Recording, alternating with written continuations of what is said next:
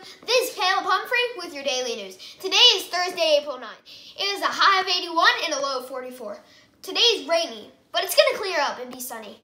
Yay! Today for lunch is whatever your mom makes. Yesterday's trivia question was, what is the highest mountain on Earth? The answer is Mount Everest. Today's trivia question is, in the solar system, what is known as the red planet? Tune in after spring break